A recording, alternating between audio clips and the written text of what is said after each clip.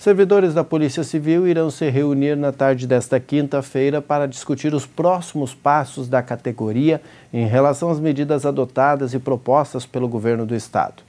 Os agentes deverão articular novas ações para o próximo ano, incluindo paralisações nas delegacias de polícia, mobilizações e marchas em protesto à falta de investimentos no setor.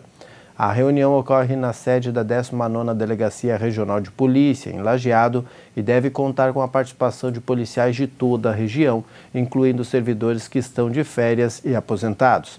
A categoria é contra o parcelamento dos salários do funcionalismo público, que se confirma há 11 meses consecutivos. Neste ano, apenas o salário de janeiro não foi pago em parcelas.